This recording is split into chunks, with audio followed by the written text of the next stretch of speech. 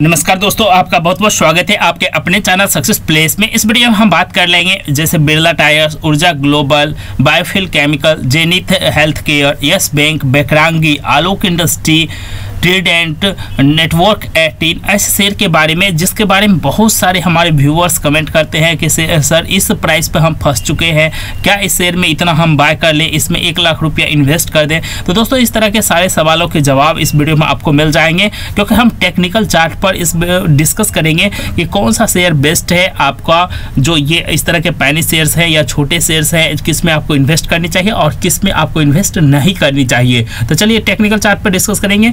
Detail में fundamental analysis और सारे एनालिसिस इंडिविजुअल वीडियो में करेंगे। जब हम किसी एक शेयर को डिस्कस करते हैं, तब उसमें हम डिटेल में उसके फंडामेंटल और टेक्निकल एनालिसिस को डिटेल में डिस्कस करते हैं। तो यहाँ पर टेक्निकल चार्ट पर समझेंगे कि कब आपको ये स्टॉक्स बाय करना चाहिए था, कब बाय आपको नहीं करना चाहिए था। सबसे हमारा है बायोफिल केमिकल्स बायोफिल केमिकल्स काफ़ी बेहतरीन स्टॉक है, क्योंकि जो इन्वेस्टर को रिटर्न दिया, उसी मामले में हम यहाँ पर बोल रहे हैं टेक्निकल चार्ट जब तक हम इसका फंडामेंटल एनालिसिस नहीं कर लेते हैं, तब हम इसके आगे आगे के बिज़नेस के और बिज़नेस के ग्रोथ के बारे में नहीं कह सकते हैं। टेक्निकल चार्ट पे बात करें तो ये स्टॉक देखते हैं मात्र फोर रुपीज़ का हुआ करता था।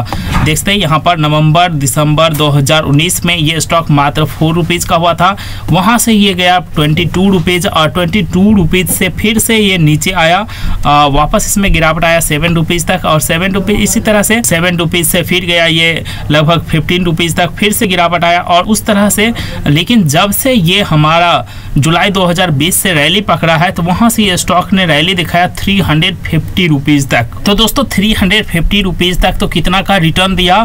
तो नाइन्टी टाइम्स आपने सही सुना नाइन्टी टाइम्स नब्बे गुना का रिटर्न दिया। दोस्तों हंड्रेड टाइम्स का रिटर्न प्राप्त करने के लिए आपको काफ़ी ज़्यादा मतलब काफ़ी समय तक शेयर को होल्ड करना पड़ता है। लेकिन यहाँ मात्र एक साल आप होल्ड किए रहते फोर रुपीज़ पर बाय करके 2019 के अगस्त सितंबर से तो अभी आपको नवंबर तक में मतलब तेरह महीने में आपको 90 टाइम्स का रिटर्न प्राप्त होता है। देखते हैं, ये स्टॉक थ्री हंड्रेड से भी ऊपर गया था थ्री हंड्रेड तक। तो यहाँ से थ्री हंड्रेड से जब गिरावट आया तो ये स्टॉक आ चुका है टू नाइन्टी पर। तो काफ़ी ज़्यादा मतलब गिरावट भी इसमें देखने मिला। लगातार लोअर सर्किट के साथ इसमें गिरावट हो रहा और जब ऊपर भी गया तो लगातार अपर सर्किट के साथ। और यहाँ पर वॉल्यूम आप देख सकते हैं कि जब जब ये ऊपर गया है तो वॉल्यूम काफ़ी ज़्यादा है। यहाँ पर तो वॉल्यूम काफ़ी ज़्यादा है। इस देख सकते हैं, ये यहाँ पर जो ये इसमें एक दिन ट्रेडिंग हुआ था। काफ़ी समय तक इसमें ट्रेडिंग हुआ भी नहीं।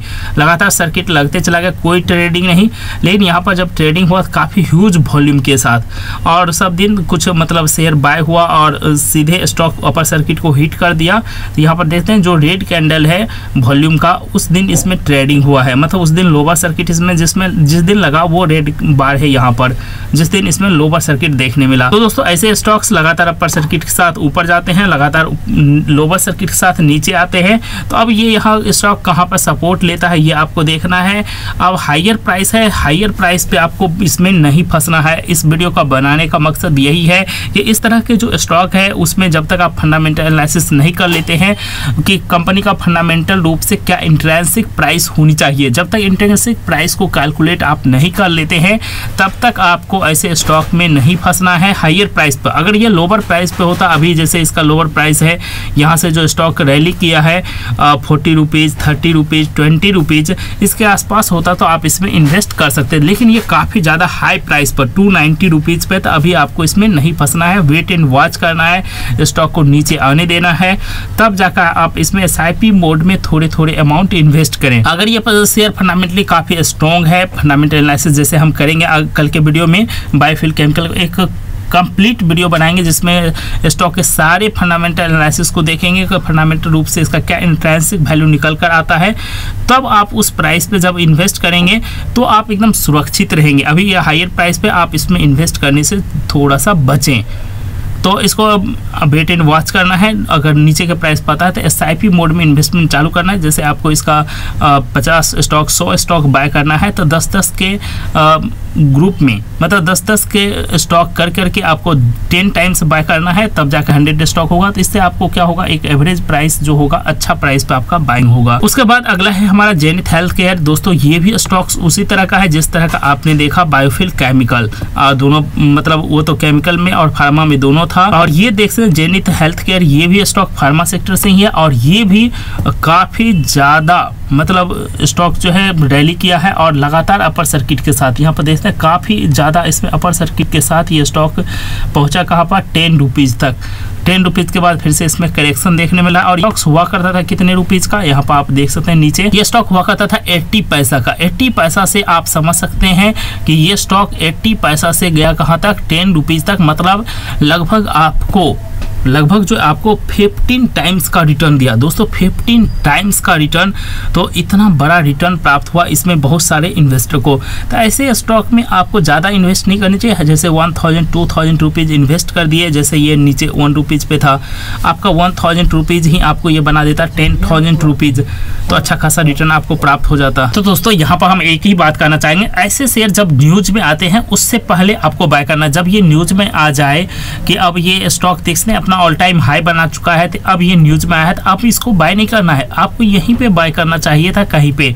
तो आप ग्रोथ देखें, अगर किसी स्टॉक में आपको ग्रोथ दिखता है तो ग्रोथ के लिए आप उसमें बाइंग करें, ना कि जब न्यूज़ में आ जाए तो उसके पीछे भागें। तो न्यूज़ में आने के बाद उसके पीछे नहीं भागना है, उससे पहले आपको अगर उसमें ग्रोथ दिख रहा है तो उसमें आपको बाइंग करना है। दोस्तों, जैसे देख सकते हैं, ये एस बैंक काफ़ी न्यूज़ में अभी, क्योंकि डेली आपको न्यूज़ आएगा साठ लाख शेयर डिलीवरी में लिया गया, साठ लाख शेयर आज उठाया गया। तो दोस्तों, ऐसे न्यूज़ के पीछे मत भागना है। अगर आपको यस बैंक बाय करना था तो यहाँ पर देखते हैं offer for sale O F जो आया था ट्वेल्व रुपीज़ में, उस पर आप अप्लाई कर सकते थे। या स्टॉक भी ये ट्वेल्व रुपीज़ पे आ गया था, उसमें आप बाय कर सकते थे। ट्वेल्व रुपीज़ के नीचे भी आ चुका था, वहाँ पर आप बाय करते।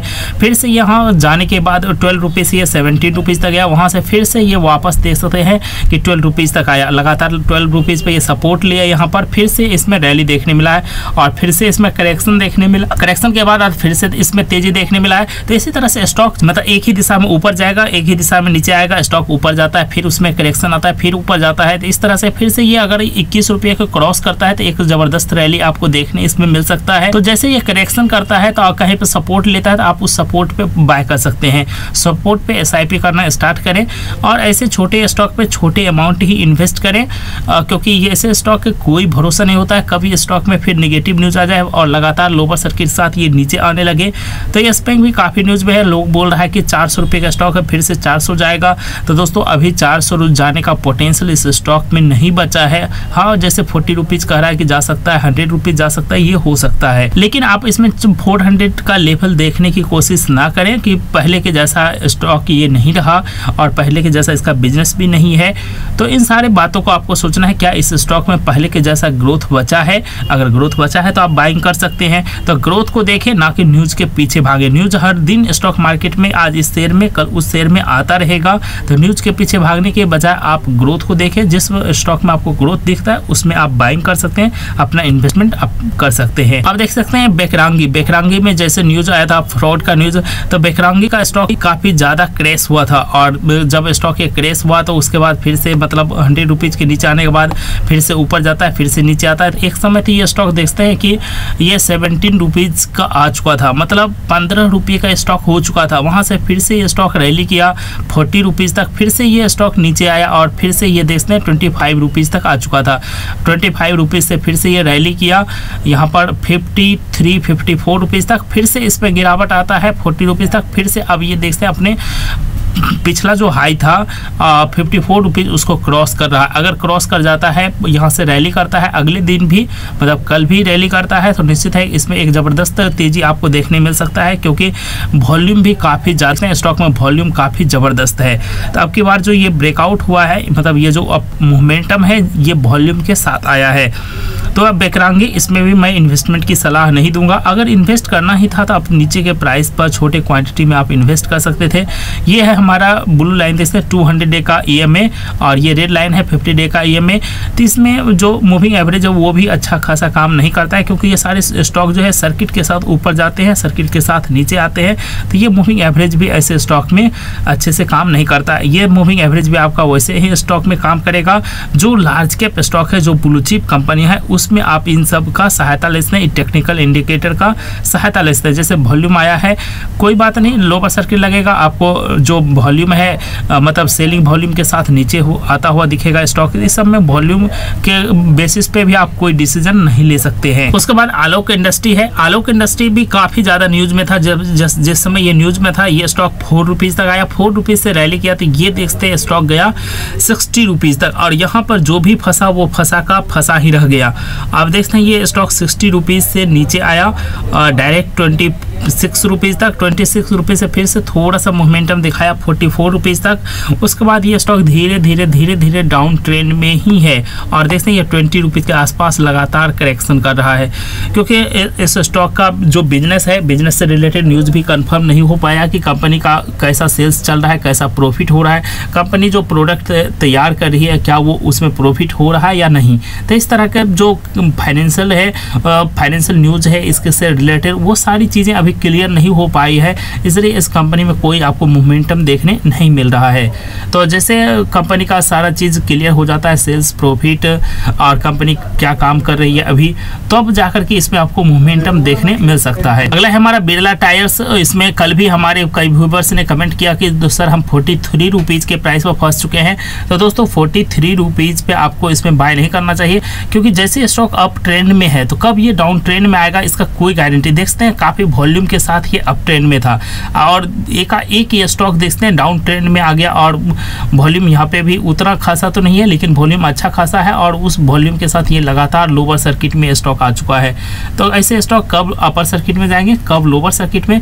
तो ऐसे स्टॉक को आपको जस्ट नीचे के लेवल पे बाय करना, और कुछ मतलब जैसे hundred rupees five hundred rupees लगा देना है, जैसे ये ट्वेंटी रुपीज़ इसके नीचे आता है, तब जाकर के। अगला है हमारा ट्रेडेंट लिमिटेड दोस्तों पैनी स्टॉक्स में मतलब जो छोटे प्राइस के स्टॉक उसमें से ये काफ़ी बेहतरीन स्टॉक है। ये स्टॉक पैनी स्टॉक नहीं हुआ करता था। ये सिक्सटी रुपीज़ सेवेंटी रुपीज़ का स्टॉक था। वहाँ से स्टॉक स्प्लिट हुआ। फेस वैल्यू टेन से वन में, जिसके कारण ये स्टॉक जो है सिक्स रुपीज़ का हो गया। और सिक्स रुपीज़ से गिरावट के बाद ये स्टॉक जो है उस पैंडमिक में मात्र थ्री रुपीज़ का हो चुका था। अगर आप थ्री रुपीज़ में बाय के रहते तो यहाँ से आपको अच्छा खासा थ्री हंड्रेड परसेंट का रिटर्न प्राप्त होता। तो देखते हैं थ्री रुपीज़ से ये आपको चला गया नाइन रुपीज़ तक, टेन रुपीज़ तक तो लगभग टू हंड्रेड से थ्री हंड्रेड परसेंट का रिटर्न प्राप्त हो जाता है दोनों के बीच में टू हंड्रेड से थ्री हंड्रेड परसेंट के बीच में। तो दोस्तों, ऐसे स्टॉक जब भी आपको नीचे का प्राइस मिलता है तो इन्वेस्ट कर सकते हैं। ट्रेडेंट ऐसे अच्छा खासा स्टॉक है, ये पैनी स्टॉक नहीं हुआ करता था स्टॉक स्प्लिट होने के कारण इसका प्राइस काफ़ी कम हो चुका है। लेकिन ऐसे स्टॉक के भी बिज़नेस को आपको देखना है बिज़नेस में ग्रोथ को देखना है। अगर बिज़नेस में ग्रोथ दिखता है, निश्चित बाय करें तो अच्छा खासा रिटर्न आपको देखने मिलेगा। अगला है हमारा नेटवर्क एटीन दोस्तों, इस स्टॉक में भी आज काफ़ी तेज़ी देखने मिला है। अगर यहाँ से ये फोर्टी रुपीज़ को क्रॉस करता है और ऊपर सस्टेन करता है तो फिर आपको अच्छा खासा तेज़ी देखने मिल सकता है।